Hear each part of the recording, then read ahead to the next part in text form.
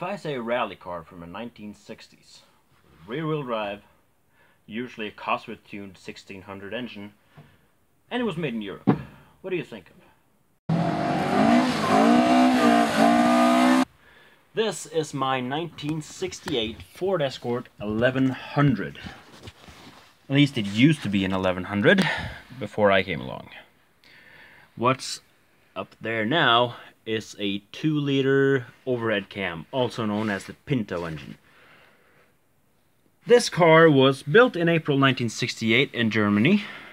That's kind of strange because official production started in September 1968.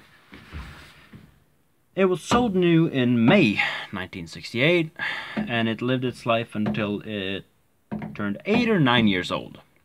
That's when the 1100 blew up.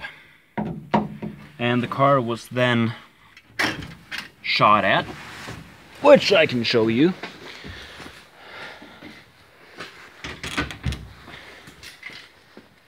You can see there, that is shotgun. That is also a shotgun. That is a shotgun. And that and that is a rifle. After that, the front end was chained to a tractor and it was dragged into the woods, flipped over and rolled down the hill and landed on its driver's side, where it stayed for 40 years until one day back in 2015, I might have managed to say that I kind of want an Escort, Mark 1, with round headlights. And my dad went, well, there is one up in the woods here. It's been there for 40 years. And I had, had no hesitation with running out and trying to find it. When I got there, I just saw a pair of wheels poking out of a hole, uh, poking out of a mound of moss. And from the wheelbase, I could just figure out that that got to be an escort because it's so short. Sure enough, I ran down there, and this is what greeted me. The front end was well, almost pulled off of it, and it was on its side. passenger side door was bent, and it was really a mess. But I went down there, got a hold of the landowner, pulled it back out, and took it home. Power washed it and stripped it completely, well, what was left of it wasn't a lot left. I tore all the suspension off of it. I replaced all the front suspension with uh, parts from a Capri 1600 GT, because those fit over.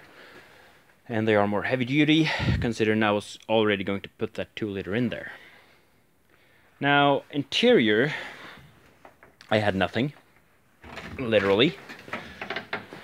These rubber moldings here are from a Volvo 740 and if you look in here these are bucket seats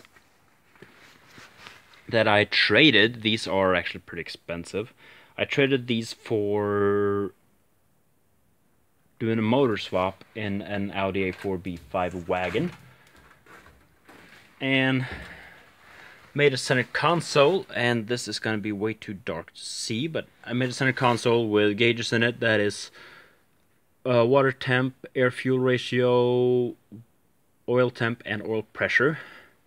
Start button, ignition switch, headlights, turn signals, heater, defroster, and windscreen wipers. Then there's a lot of fuses. I have a Grant GT steering wheel.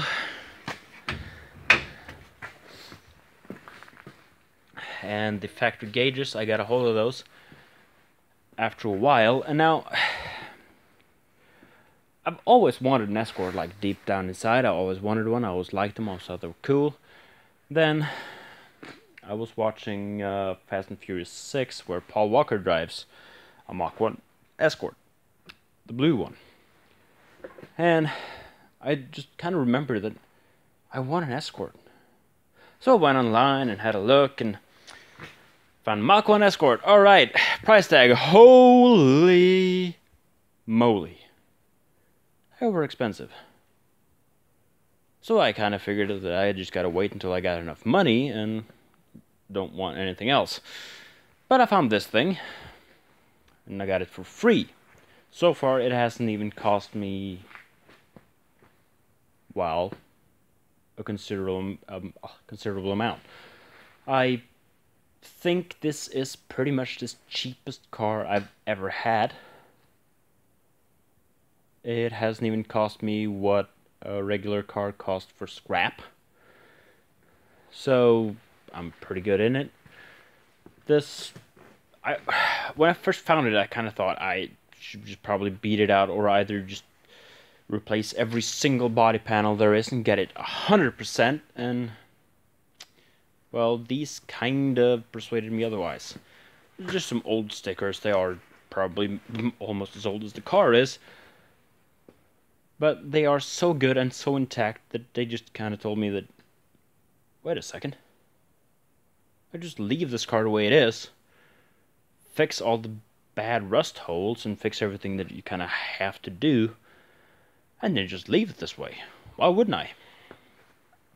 But anyway, after I stabbed that 2 liter in it, and I made a video with barely running, well it ran but barely drove, because the clutch, well, I had the starter out of it, and it looks like a mouse nest of clutch parts in there. It is just all clutch fibers down there. So, what I'm going to do now is, because that is my brother's Taunus, and in the back of that, in the trunk, there are two T9 5-speeds. And this has just a 4-speed. Now, he might be taking one of the 5 speeds, but I'm taking the other one and shoving it in this.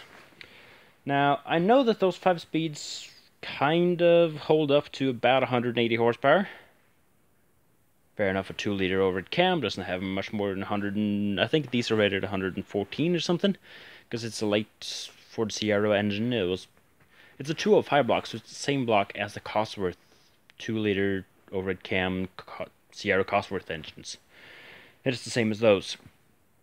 And well, actually inside the car here I have a Cosworth two-wheel drive oil pump with uh, spray bars up to the pistons to keep them cool. I'm going to be installing that later, but I'm also going to be installing, instead of that carburetor, I have a fuel injection setup and a turbo. So this is going to be a turboed 2-liter Pinto. Now, if you are following this channel, you'd already know that I have a couple of videos of this one earlier. Now, this is going to be the first one in a while, and then there's maybe another one coming up, because I'm going to have to drive it when I get the clutch replaced. Because I have to drive it back out of here, because the Granada is coming in this weekend, and this is Thursday I'm shooting this. It's coming in because the parts for it is coming in the mail tomorrow. Those are re rear wheel bearings and all four ball joints. Gotta replace those and get that car registered and on the road because I'm tired of driving a Subaru. No hate on Subarus, I just don't like it. Pretty much. So anyway, if it's your first time on the channel, or even if you've been here before but not subscribed, subscribe. And like, comment to any video you might find. Good comments, bad comments, I really don't care. You got anything to say, you can just say it. I always appreciate some constructive criticism.